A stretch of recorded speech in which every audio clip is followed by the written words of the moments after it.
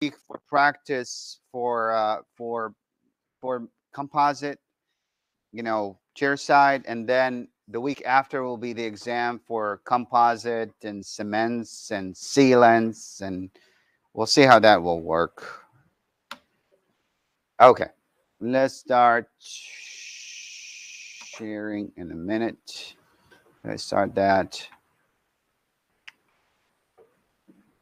So the recording is started. So our lecture today, if it wants to open,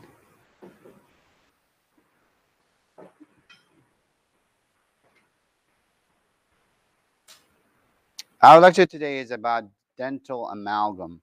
So we know the filling materials that we have in dentistry technically are two in a way, right? We have direct filling materials, which are composites and amalgams. And, the, and then, we know, amalgams are the older, the first type of actual filling materials. They used to have also gold filling materials where they can put them, but that went away. And then we have amalgams, and it's kind of going away, you know, but still done in some um, in some instance where uh, the dentist would prefer to fill it, or sometimes the patient cannot pay for a crown, and uh, an amalgam can do the job because it can it can help fill uh, a big part of the tooth. But again, composites are just getting there. You know, there's a lot of improvements with composites, and uh, a lot of clinics are completely what they call mercury free, so they don't have any amalgam in their clinic, right? Completely off they don't have any of that. But anyway, again, it's still there. It's still a procedure that is done, and it's uh, it's important to know um, what are the parts and things that are related to dental amalgam. I think again, as usual, we oh, I did not even share my screen. That's good here. Uh, I think uh, we should watch definitely a video for amalgam before I start talking about anything. Um, some of you are might be familiar with again with amalgam. You might have some of you might have an amalgam filling, uh, and um, or at least family member that have a, an amalgam filling. So let's take a look at the videos that we have. Um, three videos, and I think we're going to play all of them, but parts of each, just to get through the So this is a good informative video about kind of the setup, a little bit. Hi About, everyone, this video will show you an amalgam procedure from the perspective of the dental assistant. We have our amalgam tray already set up and the tooth has been prepared. We will be working on tooth number nineteen, it's a class two restoration, MO preparation. Our instruments are set up in order. We already have a matrix band on the tooth. We have our amalgam capsules here. And given the doctor's signal, we are ready to mix. so amalgam used to come, well, now comes in amalgam capsules, which are similar to the capsules that now we're mixing for cements. Uh, but it used to be actually where you actually pour, you know, amalgam is mainly mercury and other material with it, right? It's a mercury, which is a metal that actually comes in a fluid type. It used to be like you have to pour amount of mercury and the amount of the other silver and tin components and copper component, and then you put it together and mix it. And that's actually how when we were uh, when I was a student in the school, uh, they have a big machine that mixes it for us because we use a lot of amalgam. So they actually, you know, they click it and they call a spill, click, click, click, and you know we can decide how much amalgam we want. Anyway, nowadays they all come in these uh, capsules, and we put them in this device, which is called amalgamator, exactly, or triturator if we want to have it more general word. So you'll see the types of, of capsules that we have for amalgam. The different capsules, we have a capsule that needs to be activated. You would push this plunger in until it's pressed in all the way. And we also have self-activated capsules that when they're placed in the triturator or the amalgamator, they mix automatically without us having to squeeze or activate the capsule. I'll activate this one Just squeeze it together. You can either squeeze it in your hands or press it on the countertop. Activating it will allow the mercury liquid and the powdered alloy made of silver, tin, copper, and zinc to mix in the triturator. Lift the lid up And you can see, I mean, this is a different type of triturator than what we have, but For the Rotomix, you just turn it and then release. And it will squeeze the capsule inside the ends there. Close your lid, make sure you selected the proper time for your type of amalgam. And press start. So definitely, again, just follow the manufacturer instructions about how long you need to triturate it, depending on the device that you have. When it's finished, lift your lid and remove your capsule. To open your capsule, twist and pull and let the amalgam fall into your well. Or if you're using a squeeze cloth, let it fall onto your squeeze cloth. So this is amalgam well, and technically it's just a metal thing that we use uh, to collect the amalgam and take the amalgam from, Take your carrier. right? You guys know the instruments, so that's a good thing. And this is how we use and the carrier. I'm not sure if Ms. Jukes showed you. Did, do you see? So this is how you use the carrier. Technically, you push it into the amalgam. your carrier. I like to hold the well firmly in one hand as I press the carrier into the mix with the other. If you're using a double-ended carrier, make sure you fill both ends. I thought they were different sizes. They are. Usually, we start with a bigger one, and then you know put in and place it, and then as I'm sorry, we start with a smaller one because we need to reach down, but the other way. Think the bigger one first because no, the smaller one first because we have to reach down. I'm thinking, you know, you have to reach down and then you place it, you condense it, and then you fill it up and fill it up until you get to the top. But again, it depends if the dentist maybe prefer both. Carrier, we deliver it to the dentist. Before I do that, I want to show you what these look like. So we pack the amalgam into the carrier. When the doctor dispenses it into the preparation, they get a nice solid cylinder of amalgam that they can then pack in to the preparation. So the goal for the assistant is to pack this firmly enough that you get nice solid cylinders. Crumbly mixes will just fall out.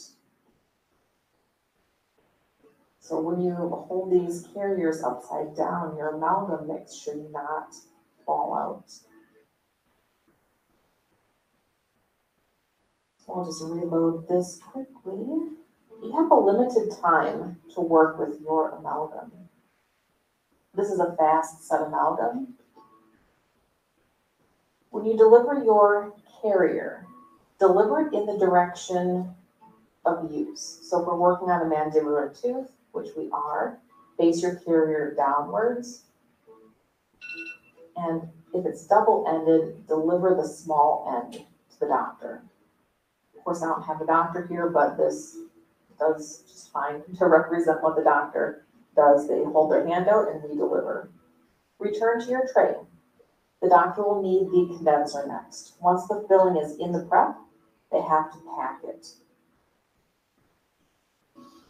Again, deliver the small end first unless your doctor specifies otherwise.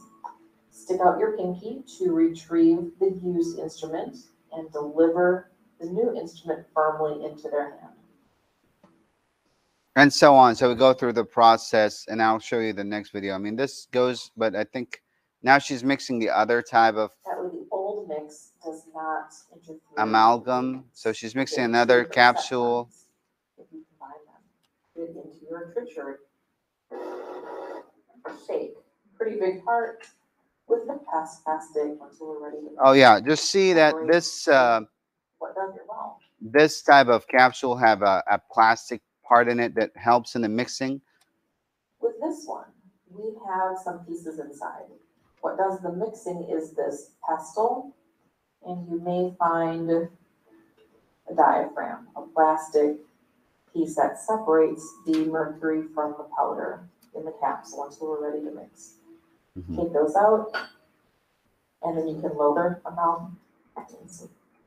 So you condense it and you give it, and then after the condenser, we're going to- Traditional method, what my original dentist used. carver, and so on and so forth. So let's see the actual procedure here that will help better. your ca- actual carving instruments, these are similar to your waxing instrument. Plates are slightly different. Boop is facing towards the gingiva. So that the top, it's easiest to use one spill at a time, one spill is one capsule. So use the back end of your mirror handle to dispense it into the dappen dish and proceed to use your carrier. Some use the dappen dish because it's disposable instead of using the amalgam jar. carrier. Make sure to fill your preparation section by section and not just drown the whole entire thing in amalgam. It's really easy to do that and make sure you condense in multiple directions, which involves using both lateral forces and horizontal forces with your amalgam. Make sure to always use the small end of the condenser first So amalgam carrier, then to carry the amalgam in, condenser to condense it. It's important to have your isthmus width at a minimum of one millimeter. Make And we keep going back and forth. Sound, kind of like a rocking chair. And make sure to seal the edges of your box by pushing. It's not gonna seal on its own, especially as you realize it is very sandy material once it starts setting up. Make sure to condense each individual portion before moving on to the next increment. It's important that you also do not start carving prior to condensing adequately, because it's very common for the amalgam to kind of flake off when it's still in its most liquid state, So condensing. push into all those. We usually overfill the tooth so that we can actually create the anatomy.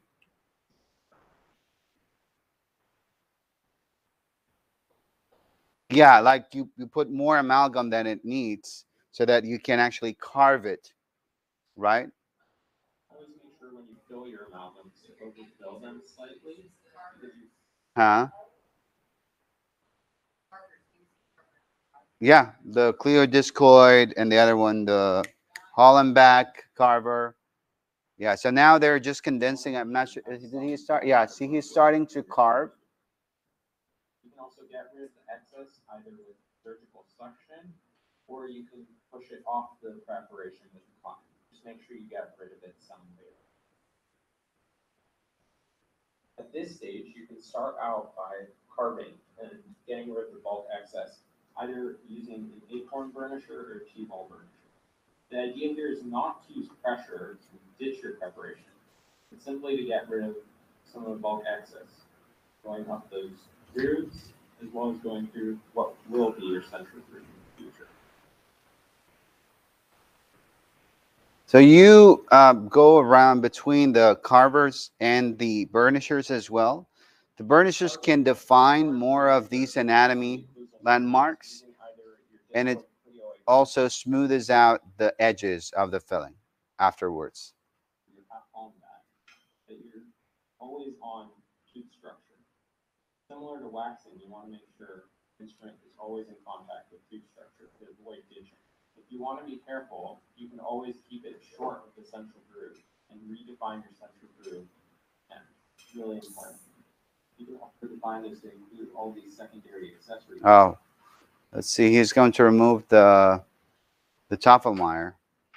When you're working on your pits, you want to make sure you don't have your instrument at too steep of an angle, making sure, again, you're half on cue, half on your fill. So Anatomy does not need to be And that's a really, you know, important stuff because when you remove the Tofflemire, you have to remove it slowly from the side because otherwise you might break this and then you have to redo it again.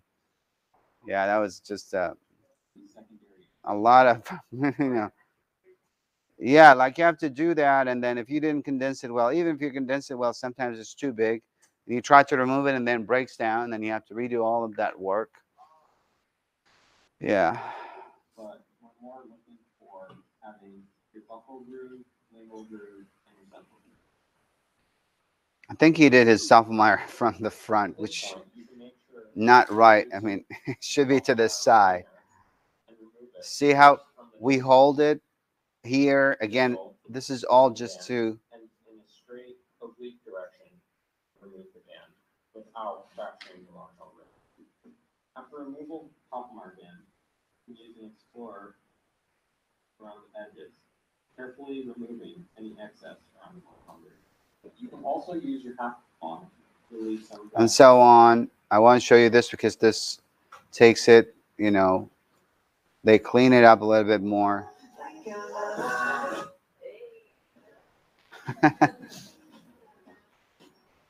So they're doing the preparation here. Now they're placing and going to condense. That's it. Condensing.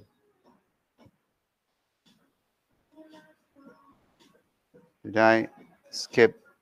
They're doing the burnishing. This is a football burnisher, right? Yeah.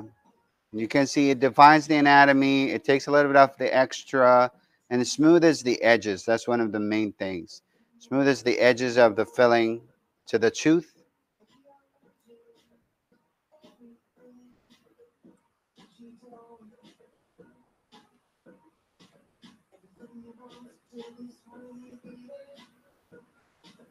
Carving, clear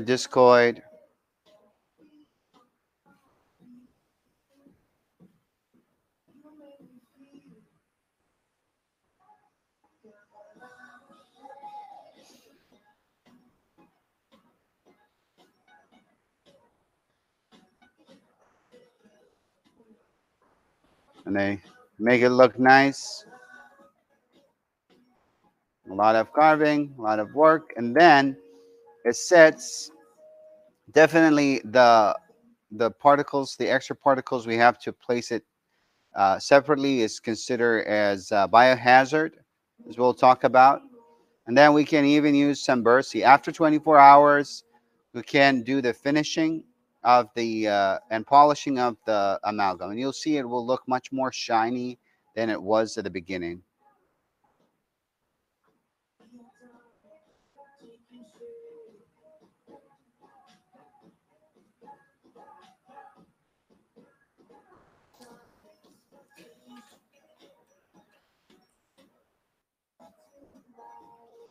So they use these brownie, uh, brownies and um, greenies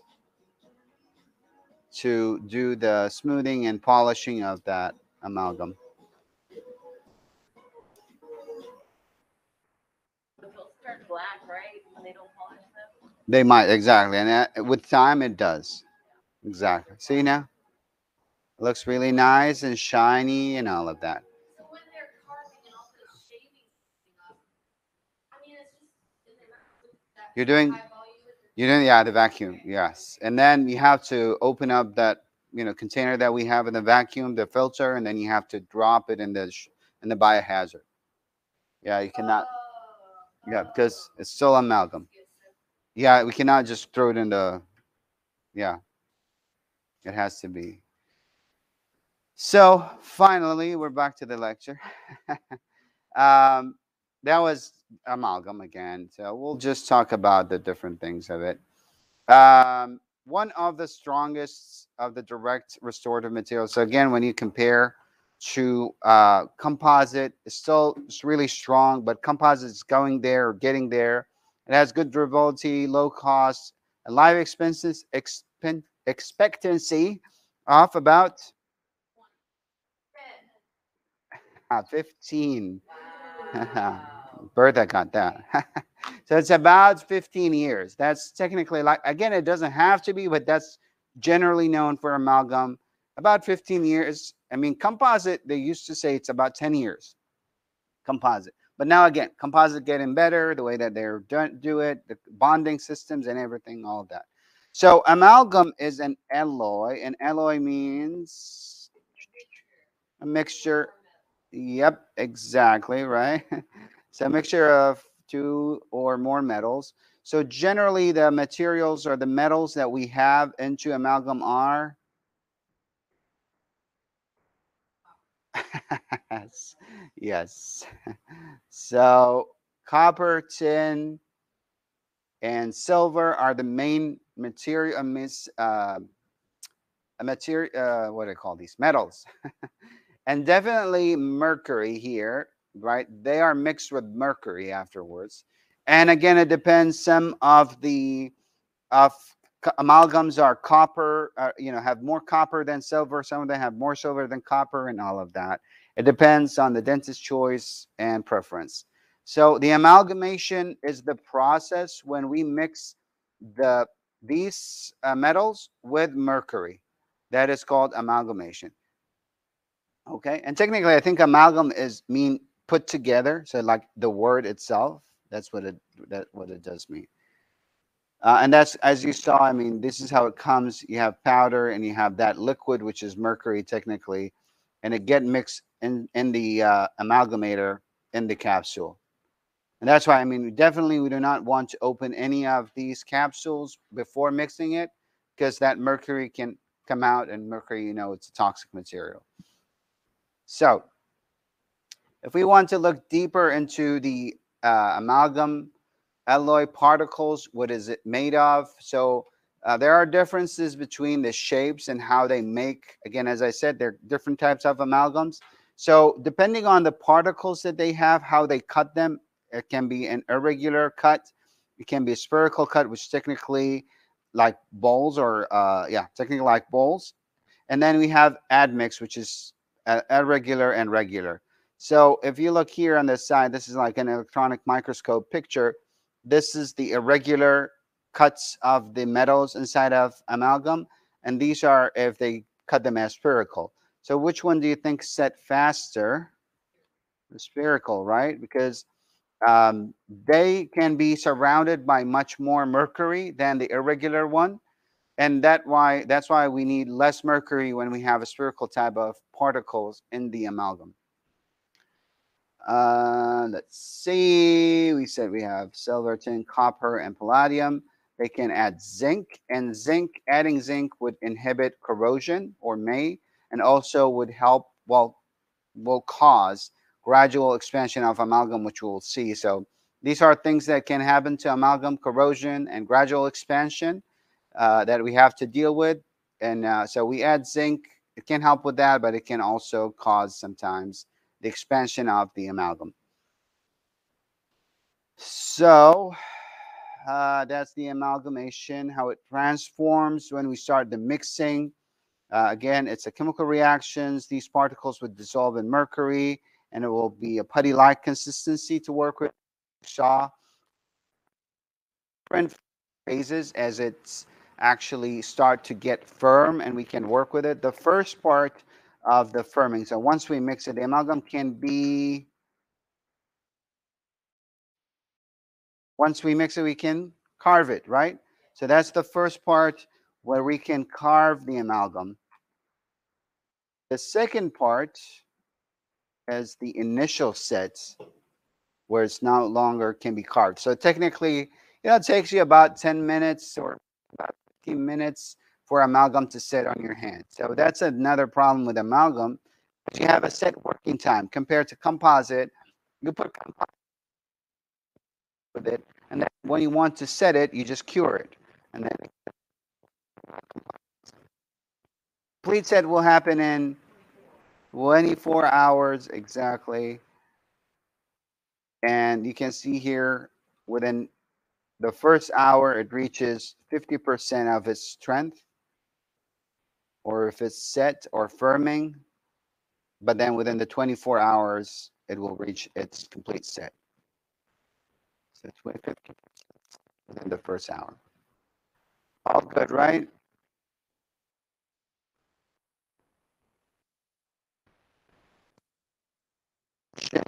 We have three conditions that we're talking about here, corrosion, galvanism, and tarnish. So which one do you think, guys, is which?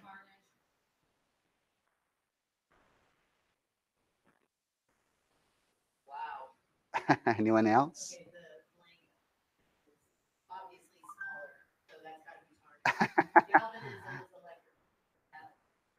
Here we go. Go, Kara. Okay. Galvanism, tarnish, and corrosion.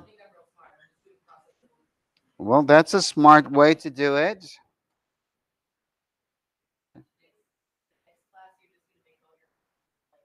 Yeah, right.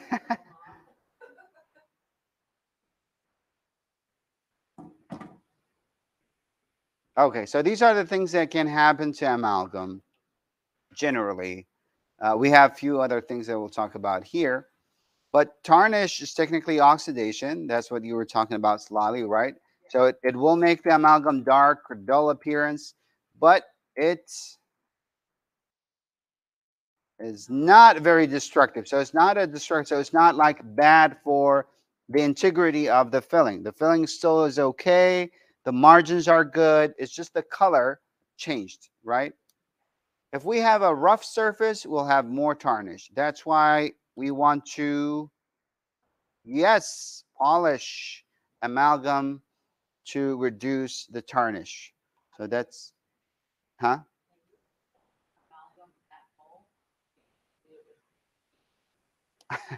Well, I think you do because I mean you need a lot of quick speed. You need water that comes with it. I don't know if there is any there are any products that are in the market to do that. I mean, you might do your own research, but as far as I know, no. right. I don't know. I mean, you might see, you know, I, I don't know how much it would charge. Maybe they would just, if you go to your dentist for a regular visit, they might do it for you for free. You think we could polish our own amalgams? and the lab? I don't think so. Oh, I have one of my friends that they're filling on themselves. Yeah. But he's he's a master of doing things, you know. He's he's great. He was just natural dentist, you know. His hand is super great with you know, he's very uh, artistic. He does the filling. Yeah. He did he did his own.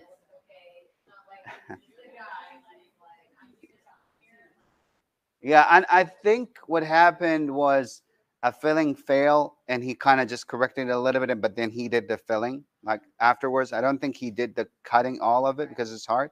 But there is a dentist online like where he did his own extraction. I think you can find a video. Yeah, and the same thing on filling. I remember he didn't tell anyone. He only told me. So yeah, well, you don't know him unless I bring a picture of him. He's not here. anyway, but uh, so we'll, we'll see. So corrosion, on the other hand, is will weaken the amalgam and can uh, surrounding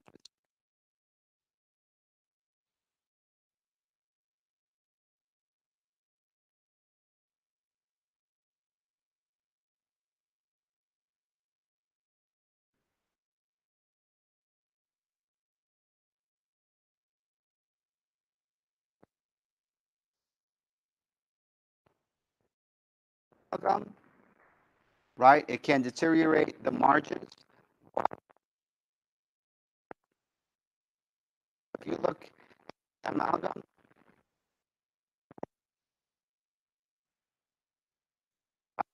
right? This cause micro leakage and these type of amalgams we have to replace, remove, and either put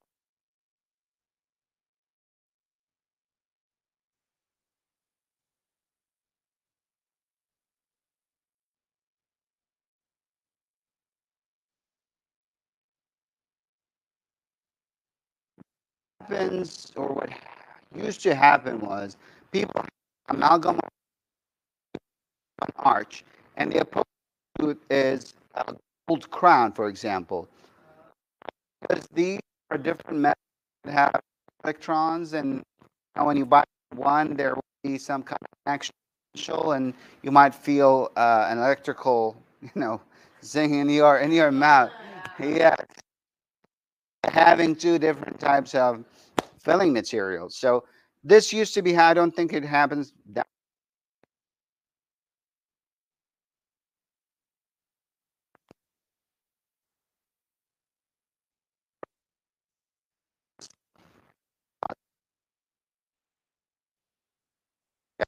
happen. So you have uh, an electrical a little bit and then paste.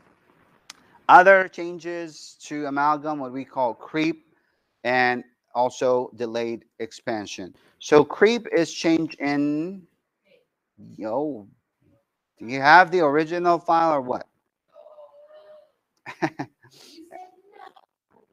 Huh?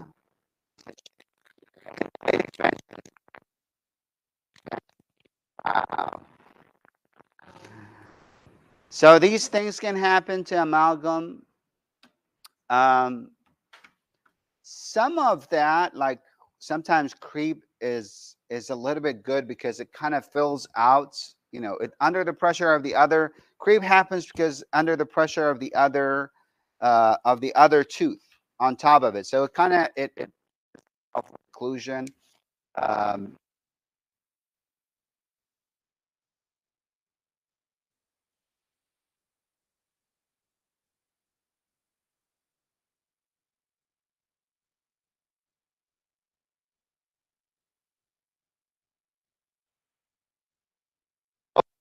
uh, expansion and con- any method can expand and contract. So we said that this is a problem with all fillings technically. Any contraction can cause. Okay. and expansion can cause failure. What do you think? Breakage. Wow, no.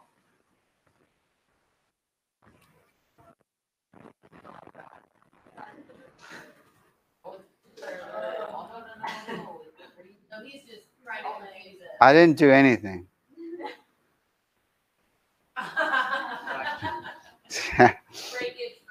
It's in the lecture, so it's true. Huh. Fracture, right? Expansion can cause fracture because it expands. Right? Contraction can cause micro leakage. That's- so thermal conductivity, it is a good thermal conductive material because it's metal, right? For deep cavities, we have to use Yes, Alex, thank you, bright side. And or yes, Al- oh, okay, Alex, that's it. You get a hundred for the next exam. Just playing favors here.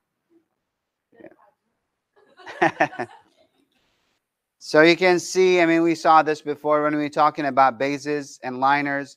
You have a deep filling that is close to the pulp, especially with with amalgams, because they're metal and they can conduct the heat right away. Uh, so we usually need a base. So and then we put amalgams. Almost amalgams are not placed without a base. Okay, and we can also use liners, and this will prevent uh, some thermal and mechanical um, work.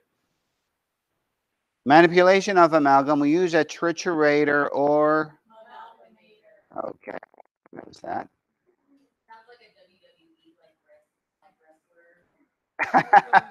Right, the amalgamator.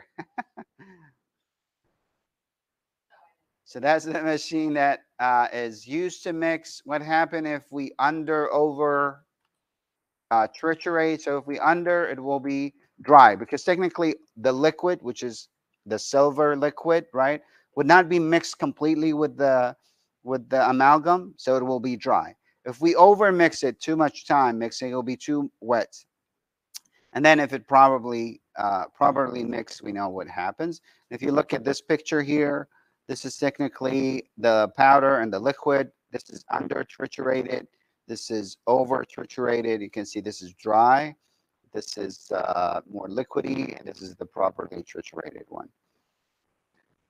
So if we look here, uh, the capsule, no, no, no, yeah, the capsules, they come in different sizes or they call them spills.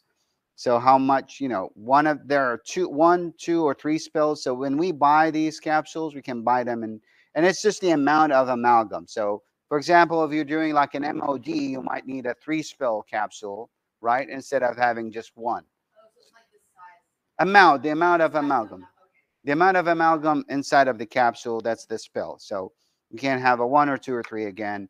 Or, you know, a lot of times we mix like multiple capsules. We don't not mix only one. So mix a capsule, we mix the other one. That's the thing. You have to mix it before the other amalgam is dry because if the other amalgam sets, then it will not link to, to each other, right? So uh, we have to take that in consideration as well. Um, these are technically the steps. Place so after we mix it, we place it in the amalgam. Well, yes. Who is that? Huh? Someone here? And then we out with the amalgam carrier, exactly. And then we want to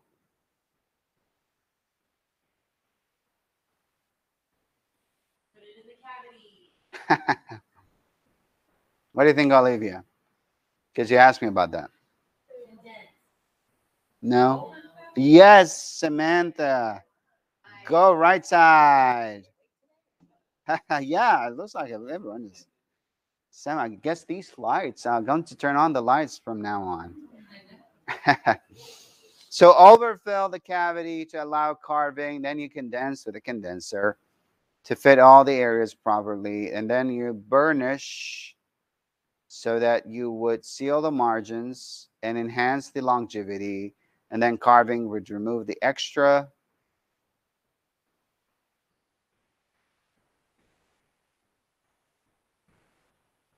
And then we want to wait for 24 hours before we do the polishing and finishing so that we would allow the amalgam to completely crystallize and completely set before we do that. And we know that polishing would uh, help with reducing the tarnish. Unlikely. you say, how, how likely would the dentist ask the patient to come back in 24 hours? Yeah, honestly, I mean, I haven't seen a lot of amalgam done anyway. You know, there, it's not done as as often anymore. You would see it. I don't know. Again, there are a lot of clinics that are amalgam free. Amalgams. Yeah. Technically, the setup. I mean, we have most of the instruments here, right? Some hand cutting instruments. So I think this is like a. It looks like a black spoon, right? From what I can see. I cannot see what this is. Huh?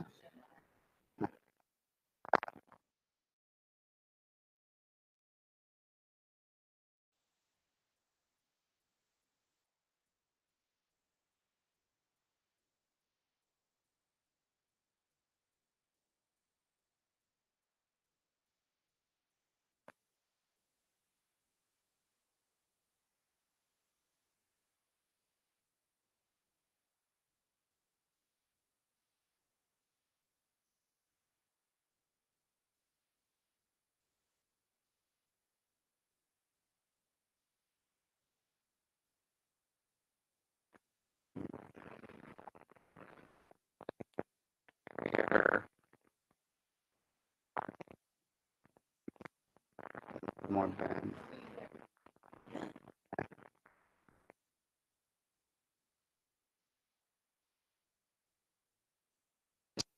because it's it has mercury in it it sets it on its own right? So these are all things that will make it a little bit bad.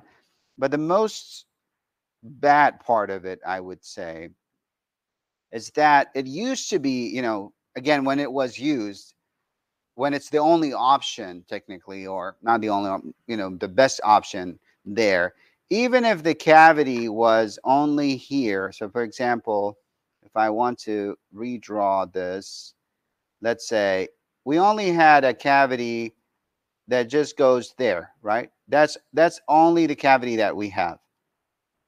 What we needed to do with amalgam is we needed to do all of this around it to be able to do to put amalgam in.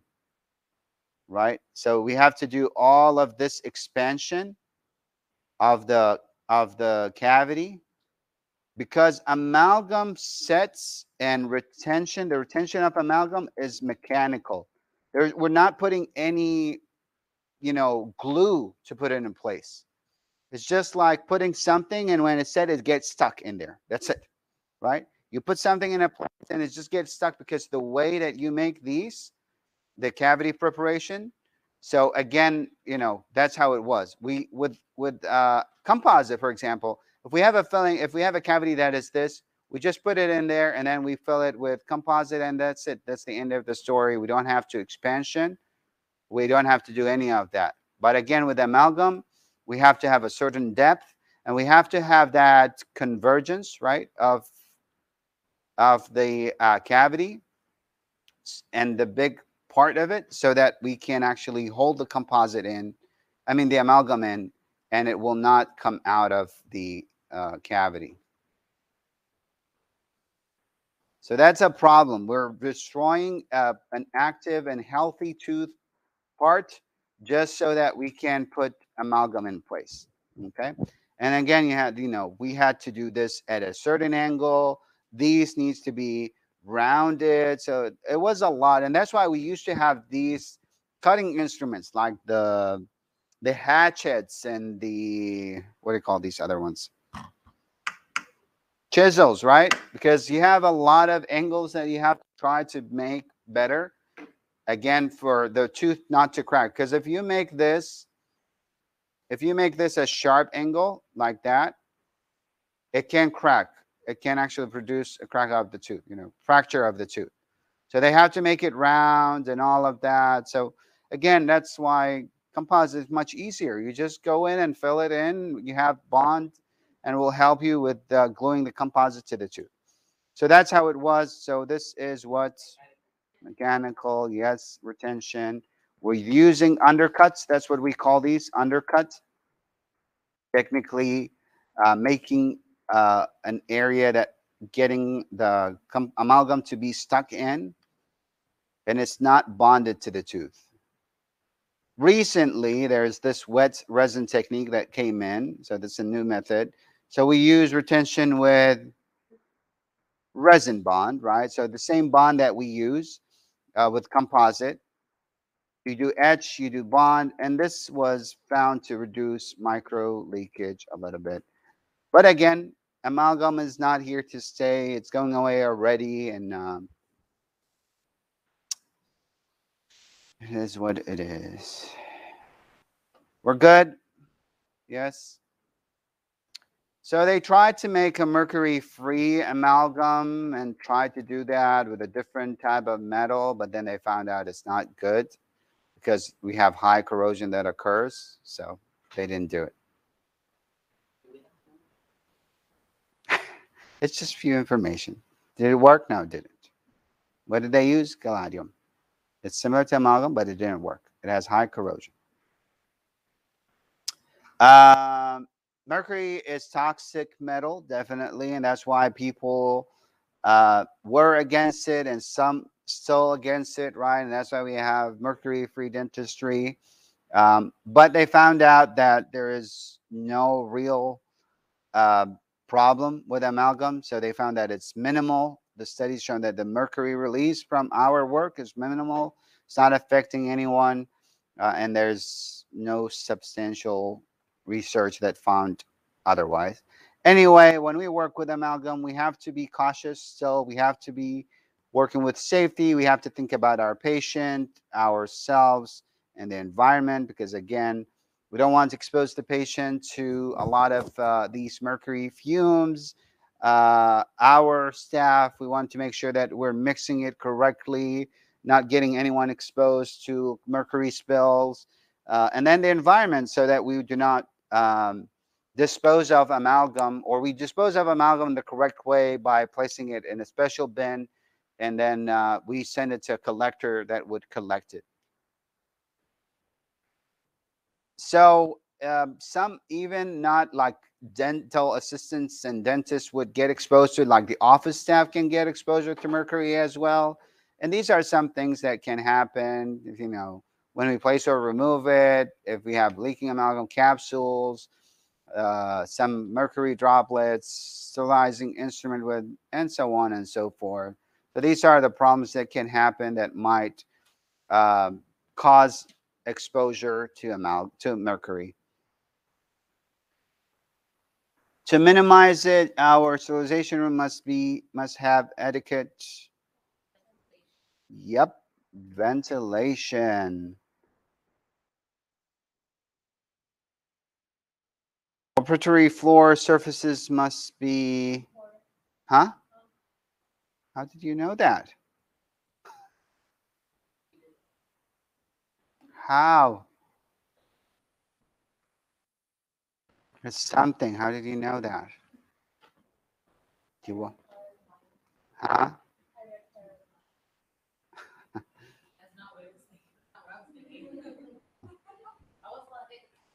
Non-porous, yes.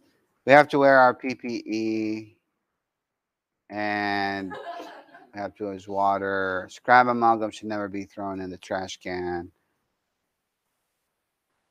And yeah, well, we we can have a special container just to. We have containers like these in the lab actually with all the amalgam scraps in it. when we are going to do amalgam. I think Ms. Jukes is going to introduce, introduce, into, yeah. She said you were gonna introduce Well, I'm going to put back on her. we'll see. I don't know. I'm focusing on composite much more. We'll see. We'll see after composite. We can do some uh, amalgam with some of you, maybe at least just to show it, um, just so that I mean you guys get exposed to that. Again, it's not a. It's not for me. It's not uh, as much importance as